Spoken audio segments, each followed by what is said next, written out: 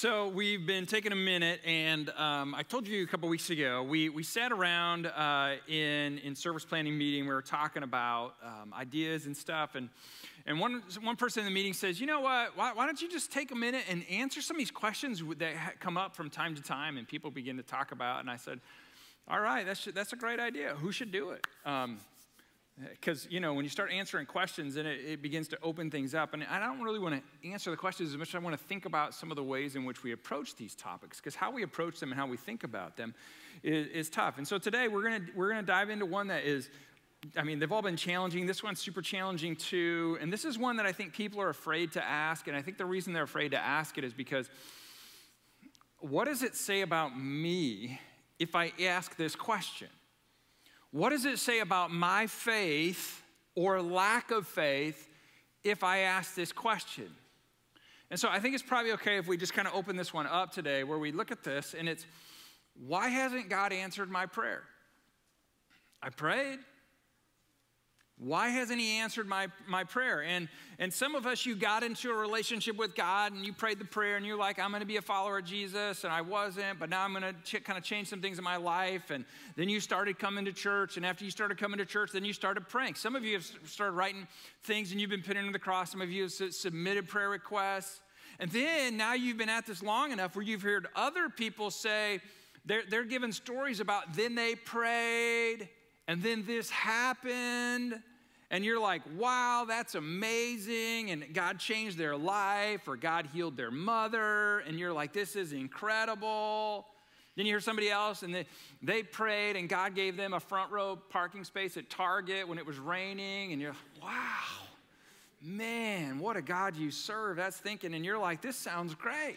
And some of you have been watching this going, man, that sounds great. And you're thinking, I don't know, though. I don't know. I'm going to try praying because the last time you tried praying, it didn't go so well, right? It seemed like God didn't even hear you. So you started to wonder, did I do this right? Like, did I, did I say this? And maybe you God answered it, but it wasn't the answer you wanted. So then it's like, well, God, you didn't answer this the way I wanted to. So maybe then what did I do wrong that you're not ask, asking me this way? And you're wondering, okay, does, does God not hear me? Or does God, God not answer me? Or is God good? Is God great? Because some of you are taught, you know, God is good, God is great.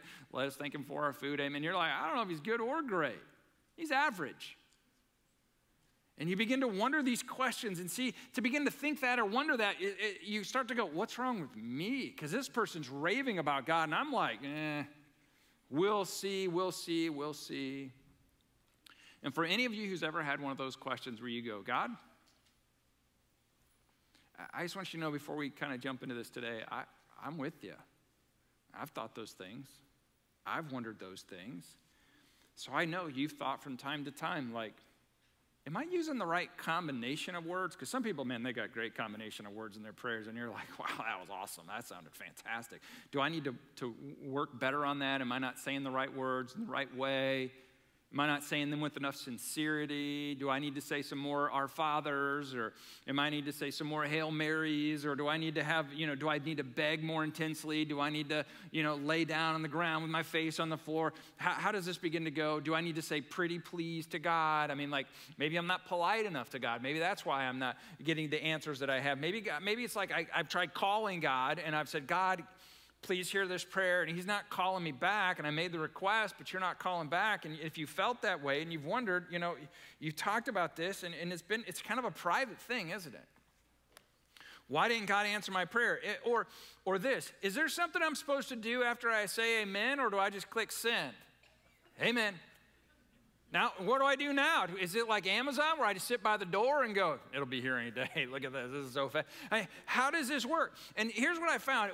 Usually every Sunday I'm either standing in the back or I'll head out into the lobby and I'll just stand there. And when people are done, they'll inevitably people will come and talk to me because you're friendly, right? And so that's nice. And they'll, they'll come talk and, and they'll tell me something.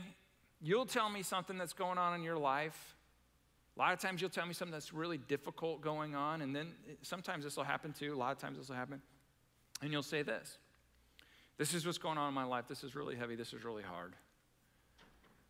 And you'll say, Will you pray for me? And a lot of times I'll tell you what, absolutely. And I'll say this too. Well, you, you can pray too. I mean, I'm happy to pray with you, but you can pray too. And a lot of times I'll get this oh, well, yeah, but I don't think God listens to me. I feel like maybe my chances are higher if you help. right? Because don't you kind of work for him in some sort of pseudo way? So maybe you've got like a better access to this, and, and maybe, you know, I don't know, maybe you're like in the, the, the, how the workflow works, maybe you got better access, or how many prayers do you get a month that get, you know, preferential treatment, or how does this work? And and it's like for many of us, it feels like we sent God this text, right? Have you ever you've done this? I know you have. You sent God this. You feel like you sent God a text, and you sent it, and you click send, and all of a sudden you see the other person. If you have an Apple phone, right, iPhone, you see the little three dots go, and you're like, oh, they're replying. Does this happen to you? And you're like, text somebody, and you're like, ooh, they're replying, and then the little dots go away, and nothing. And then what do you start doing? I know they got it. I know they're thinking about it maybe I need to send a text again. It's been a day, been two days. Maybe this time I need to put some punctuation after it. Maybe I need it up with an emoji.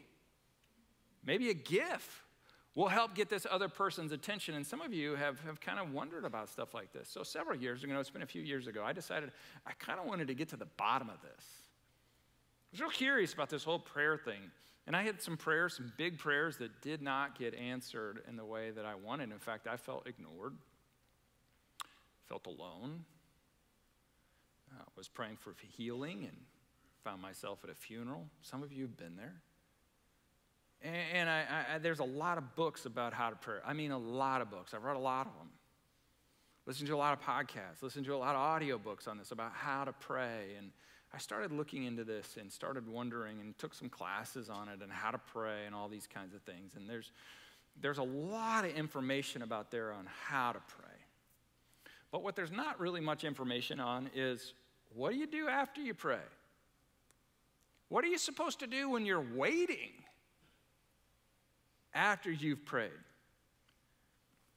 So, this morning, I want to get into this, and I want to look at Jesus because that's what we do here, right? And I want to look at how he responds to this and the interaction that Jesus has with people after they've made a request of him and their prayer request and, and their request for their life. And I mean, the essence of their prayers were Jesus, will you hear my, heal my son? Will you, will you heal me? Now, just so you're clear, every week we have a variety of prayers that are submitted, a lot of prayers that are submitted each week on the cross, and they're in a few categories. There's like the health prayers, and then we have like the job prayers, and we have the anxiety prayers, and we have the relationship prayers, we have the finance prayers, we have the addiction prayers, and all of these kinds of things. And so today, I'm not going to get into the health prayers particularly on this one and like, you know, God heal and all this because honestly, I don't, I don't fully understand why God heals some people and why he doesn't in some places. Uh, we'll save that for another time. Today, I want to kind of focus on the other prayers. The prayers that are like, God, will you fix this? God, will you change this? Because very rarely, and I mean rarely, Jesus says, Sure, sure, let's take a look at this. Bam, done. And there's several things that, that when we ask God to do things, and what do we do? How do we wait after we say amen? And if you're somebody who thinks, man, I've been a Christian for a long time and I've been praying for a long time, this may be the one thing you need to hear this morning. And I'm so glad you're here or watching online because sometimes you're afraid to pray because you're scared. You're scared of what might happen if you got vulnerable and pray. I understand that. I understand that. So today, what do we do after we make a request to God, what do we do while we wait on God? So, this story today comes from uh, John. John was an eyewitness of everything that Jesus uh, did, taught, said. He spent an enormous amount of time with Jesus' mom after Jesus ascended into heaven. And after Jesus ascended, John took care of Mary. Um, and he writes all this stuff down years after um, he was there. He, he knew Jesus. Uh, this, this story takes place Joseph, Jesus' father, earthly father, had died. Uh, we're, we're now in, in, a situation where people around him knew, hey, this is Jesus. His dad was a carpenter. That's Mary. That's his mom. This is the kid from Nazareth up there. And we find ourselves in this little village not too far away from Cana. Not many people know who Jesus actually is. Mary knows that Jesus is the Son of God uh, because she had an angel say uh, so, and she's been around him his whole life. You have John the Baptist, who's still alive at this time, and he knows that Jesus is the Son of God. You have some followers, and they're mostly skeptical, going, well, we'll see. It's a rabbi, and I wasn't smart enough to be picked by some of the other rabbis, and this rabbi said I could follow him, so I want to I want to kind of go around there and begin to go this. But most are skeptical. There's about two people that really know this is the Son of God John the Baptist and Mary, his mother. Everybody else is sort of all on the fence. They all agree. The guy tells amazing stories. He's a wonderful storyteller, and they're along for the ride. And, and people begin to look at them. And so eh, this, this story begins to go. And we have this first miracle of Jesus, and it takes place in John chapter 2, and it's at a wedding. It's at a wedding, and eh, they get invited, the disciples get invited to the wedding. And let, let's be honest, guys, can we be honest? When your wife leans over and goes, Hey, we just got invited to a wedding, what's your first thought? I mean, I'll be honest, my first thought is, Ooh, which college football game am I going to miss, right? I don't know. Well, I don't know. I don't. We may not be able to make that one, right? And so we get this. But back then, people wanted to go to weddings. They, they lasted for days. They were celebrations, and many times people were entrusted to bring supplies. They would often be like potluck, and so hey, you bring this, you bring this. You'll bring this, and together we'll have this ceremony. It'll go for several days. And Jesus was there with his disciples, and they all probably brought something with them. And so I want to look at this interaction here today because it's really going to, there's some requests in here, and Jesus responds to this quest, and I think it's going to have really high value for us here today. So, John chapter 2, verse 1. On the third day, of the week, a wedding took place at Cana in Galilee, and Jesus' mother was there, Mary. And Jesus and his disciples had also been invited to the wedding. And when the wine was gone, Jesus' mother said to him, They have no more wine. Now, Mary comes to Jesus and says, First, I think they're going to be out of wine. And I, that would have been a really big deal back then. In fact, you in Israel back at the time, you can file a lawsuit against the family if they run out of wine during a wedding for this. And so Mary's request, Mary's prayer, Mary's ask of Jesus is fascinating. And took a lo- take a look at what John um, replies here. John writes this reply down, and I think it's fascinating. Jesus looks at his mom and says, Woman, why do you involve me? This ain't my problem. Wasn't on my list, not my to do. Jesus says, My hour has not come. And Jesus says, Dear woman, that's not my problem. Now, we talked about proof texting two weeks ago and we talked about the Bible. So I want to talk to all of the middle school and high school um, students here in the room today. Thinking that the next time your mom asks you to do something, that you can quote this verse.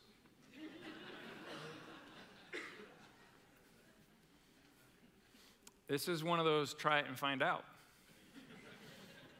Let me just remind you you're not Jesus. Nobody is confusing you to be the son of God or the daughter of God, okay? So Jesus looks at his mom and says, I don't think you need to involve me. So if your mom goes, You need to clean your room, ah, you don't need to involve me. This is not my problem, mom. My time has not come. That is what we call proof text. We talked about a couple weeks ago. I just want to give you another example. You can stick that in your hat, okay? But please don't do that. And parents, if they do that, feel free. I mean, you know, spare the rod. There you go.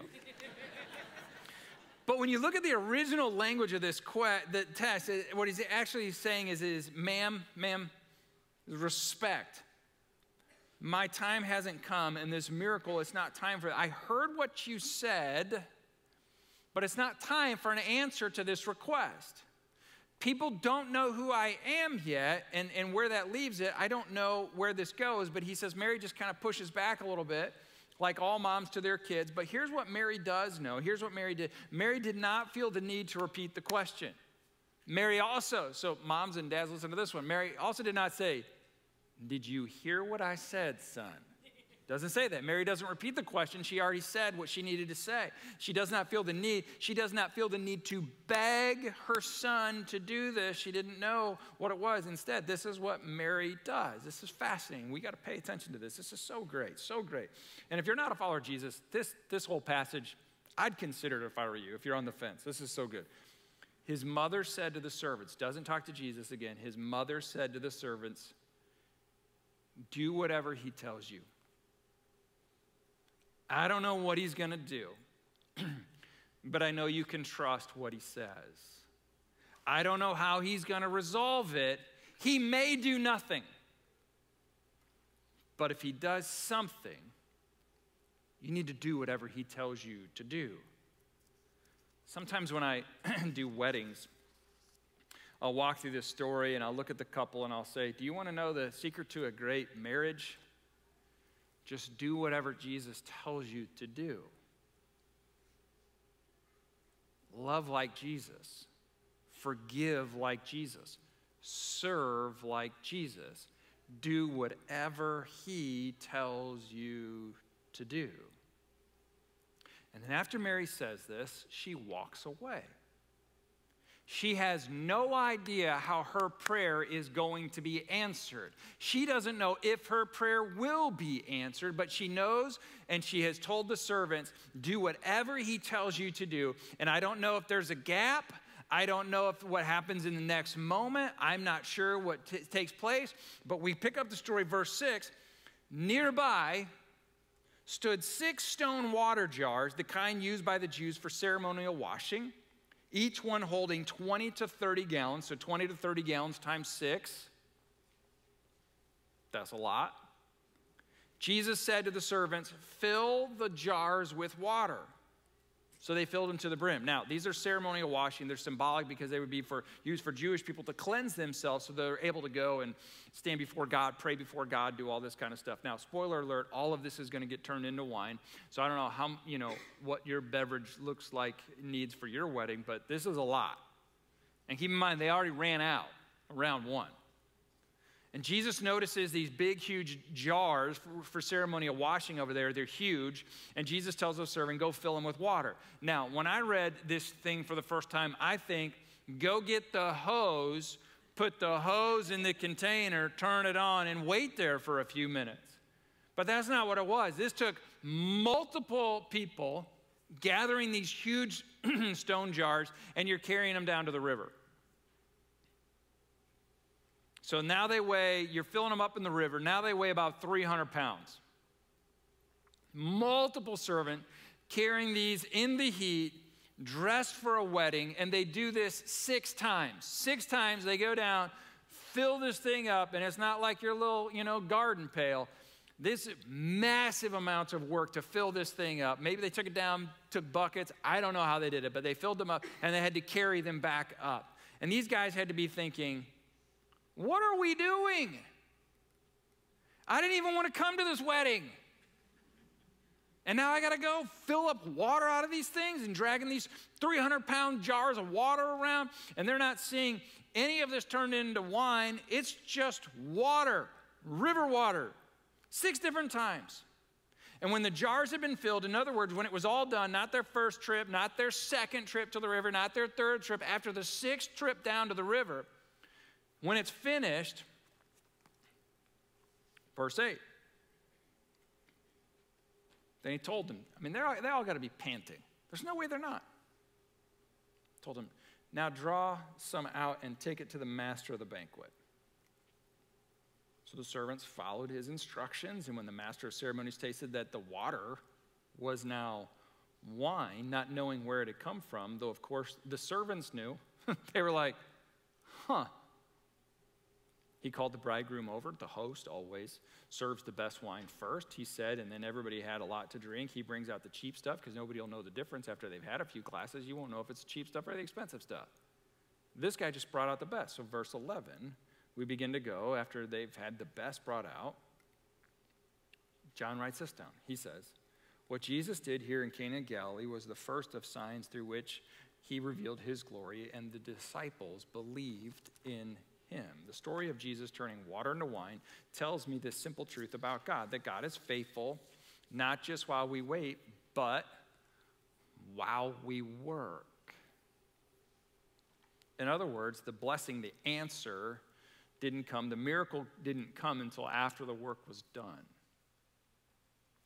Could it be to your prayers and to my prayers, some of us are a little early? Maybe you've only made two or three trips to the river. And you're going, God, where are you? Author and speaker Mark Batterson says this Sometimes before God does the super, super, he's waiting on us to do the natural. Isn't it true? When you pray, you're wanting God to do the supernatural. God, I need a miracle here. I need the supernatural. Maybe what Jesus is trying to let us know in here is don't stop praying, but don't only pray. And what we're challenged with here is are you filling up the jugs with water? Are you preparing for the natural, or are you just waiting on the super? So let's bring it down to the things I see written on the cross each and every week. In your marriage, are you just waiting for the super? Or are you grabbing the basin, heading down to the river, and doing the hard work with the natural in your job? In your job. Are you just waiting on the super? In your finances. Are you just waiting for the super? My grandpa did that. My grandpa passed when I was in high school, and every year uh, he would fill out the Publishers Clearinghouse. yeah, mail it in. This could be the year. Great. A couple times a month, he'd, he'd buy his Illinois lottery ticket. What's that? He's waiting on the super.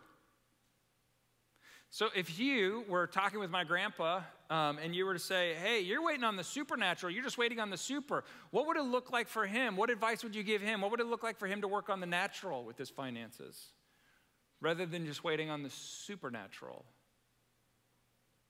In other words, keep working while you're waiting.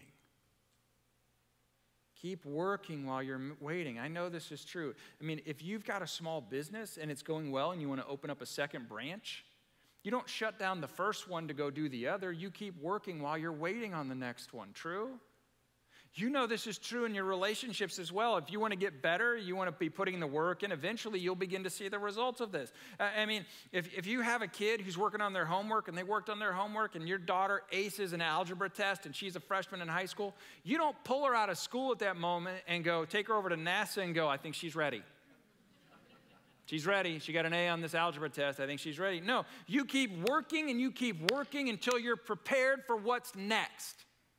You keep working and you keep working until you're prepared for next what's next. God may not answer your prayer if you're not prepared for what's next.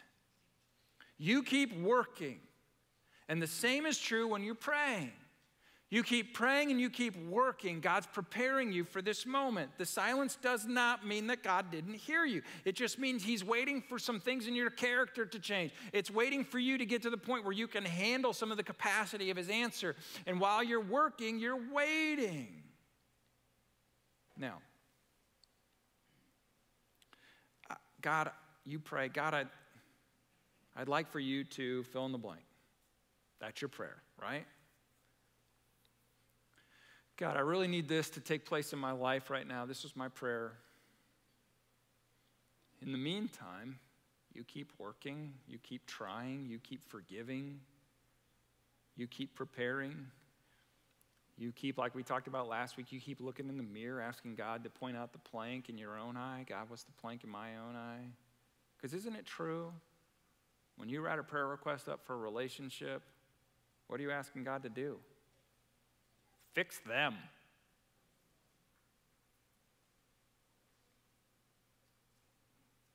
While you're praying, you need to be working.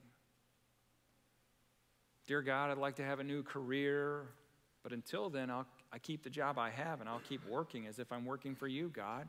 My boss, he's such a, right, but I'm gonna, I'm gonna keep working. I'm gonna keep preparing. I'm gonna keep getting better at what I do as if I'm working for you, God. God, I'd like for my adult kids to forgive me for the horrible parent I was, but until then, I'm going to work on who I am for this point. God, in my marriage, I want my spouse to start coming to church, but then I'll keep serving and doing exactly what Jesus does. We had a, we had a woman who attends church here. Um, I don't know if she's here or not today, but, but she had, was coming to church and she wanted her husband to come to church with her. She wanted her, she kept coming faithfully every week. She wanted her husband to come to church with her, and he wasn't interested at all. So she decided to stop coming to church and she started watching from online at home. And she'd sit next to him wherever he was on a Sunday morning and open up her laptop and start watching on the service. Not in an obnoxious kind of way, but just like, a, oh, yeah, sit down. Oh, turn on church service. And for a while, after a while, he started looking over her shoulder. After a while, he said, all right, doesn't look terrible. I can tolerate that. I'll go with you. What do you do? You keep working while you're waiting. You go get in line. You keep going back to the river. You go back to the river. You haul the jug back to the river. You fill it up because God's not finished with you yet, and there's things that He wants to do in you. God's waiting to do the super when you've done the natural things, waiting for you to grow, and you've beginning to be a part of this and receiving the answer. But when we get to see God's work, it's not just about waiting. So when you're looking for a new job, or if you're still single and you don't understand that, and when you're stuck in some addiction and you really want to be forgiven what you've done, and you really want reconciliation to be be back and you really need somebody to forgive you, don't just wait on the super. God may do the super, but you really need to invest in the natural. And we got a bunch of marriage requests every week. Many of them pray for the super. Usually it results in blaming other people and excusing themselves, blaming others. We have a lot of people in their finances praying on the super. Now, I've gone to the mailbox and I'll tell you, I've seen the super happen. But I've also seen the natural work where you reduce your spending, getting rid of extras, having hard, final conversa- hard financial conversations. A lot of prayers about anxiety. While waiting on the super, change your screen habits, your bedtime routine, your breathing, go for walks which is to say, you need to do the next right thing. Just focus on doing the next right thing. That's what you do when you're waiting on your prayer. You do the next right thing. And then if God decides to part the Red Seas in a miraculous thing, you give him thanks and praise. But in the meantime, you keep loving your spouse. You keep going to church. You keep tithing. You keep serving. You keep doing the little things, and over time, it catches up to you. The little things catch up to you. For all you sports fans out there, there's this great book out there by an old coach. His name was Bill Walsh from the San Francisco 49ers. It's called The Score Takes Care of Itself. And the whole concept of the book was that we're going to work on blocking and tackling and executing perfectly, and the score will just figure itself out. He was pretty good. I think the same thing is true when it comes to our faith. We keep doing the little things over and over and over, and eventually the miracles catch up to us. The Apostle Paul, St. Paul, the Apostle Paul, waited 12 years before his commissioning to happen to ministry. Joseph in the Old Testament waited 18 years in prison. What did he do while he was waiting for that prayer to be answered? I bet you he thought, God, after year 16, God, my Lord, how many times I got to keep going down to the river here? He was faithful day after day after day. The people of God waited over 400 years for the Messiah to come. God's timetable, I'm just going to tell you, is often very different than ours. But God has heard your prayer. Two quick stories. We were at another church, we were in South Carolina, and there was a woman who she didn't know it at the time, but she was basically a mail order bride from another country. Her husband would drink a lot, and so he was usually hung over on Sunday morning. She grew up in a country that values atheism, but she started walking up the hill to our church, and she walked into the church doors, um, not believing, not thinking it was just a safe place where she could see people, because basically she was trapped in an apartment down the hill. She started coming over time and began to get involved and began to have her own story of faith. And uh, she was praying for a miracle, but she kept working and working and working and working. And one day there was a group of guys, the police had to stay outside. There was a group of guys, it was on a on an early morning, her husband was drunk again, and we went in and we helped extract her from the situation. There were boxes to the ceiling, and she was sleeping in the front room of the apartment on, a, on an old army cot. She had a hot pot right next to it. We got her out, we got her into a safe house. Her life is transformed now. She works for her family business back, back there. What happened? Her faithfulness over time. And then God chimed in with the super. There was another guy named Anthony. We ought to have Anthony come sometime. He was a police officer, state trooper in South Carolina. Got caught. he was taking bribes for helping drug runners go up and down the state of South Carolina. He got caught, was prosecuted, went to prison for several years. While in prison, found the Lord, came out, started attending our church, and got to know Anthony over time. God began to transform his life. He started working with the teens in the youth group, started working in the school system, started a nonprofit. This May, uh, Anthony will graduate from Northwest Nazarene with a master's degree in family ministries. God will do the super.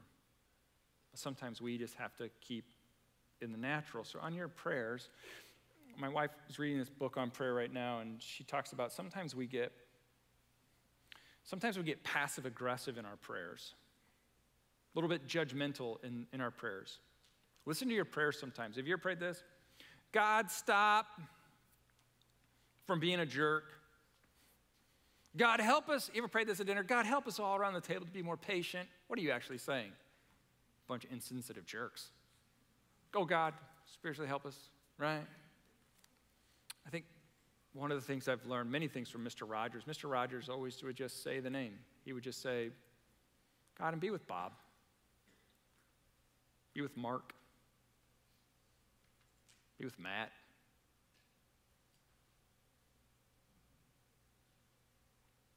God, you know them. You know what they need. I'm not going to tell you what they need. Verses. God, eh. where's? Help Matt be less of a jerk. God, be with Matt.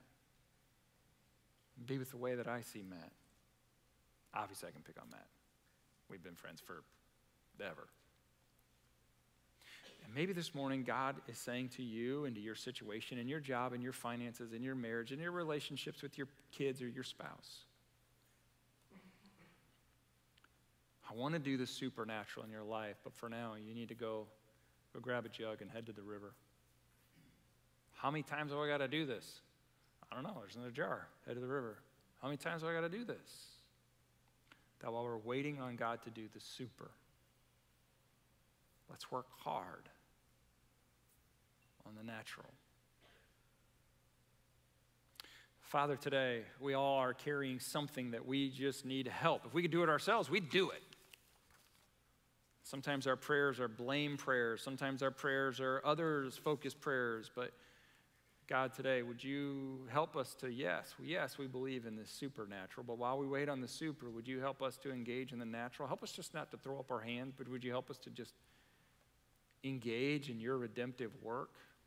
Help us to focus on the plank in our own eye. Help us to spend more time in the mirror asking questions about God. What is it about my heart that needs to be changed? What is it about my attitude? What is it about the way that I talk to others that needs to change rather than us focusing on others? So, God, today, as we sing songs to you and about you, maybe we want to write some new prayers today. And get to work on the natural and wait. Let's work while we wait for you to do that which only you can do. Help us to be responsible to go grab the jar and head to the river. And who knows what you may do. It's in your name we pray. Hey, thanks so much for joining us today online.